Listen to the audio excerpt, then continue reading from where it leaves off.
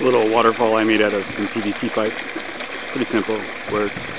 They wanted 40 bucks online, I built it for five. Five to 10, something like that.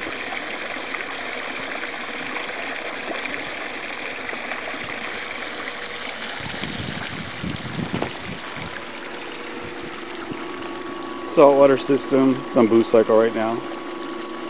Kind of raise the uh, chlorine level a little bit. All this needs to go in a Rubbermaid uh, footlocker type box that I'm going to get from Home Depot maybe next week.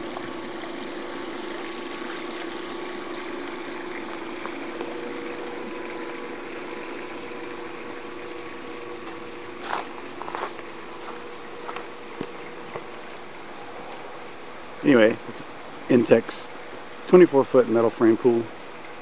Kids love it.